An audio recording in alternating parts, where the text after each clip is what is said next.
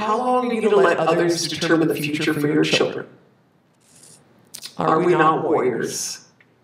When our ancestors went into battle, they did not know what the consequences were going to be.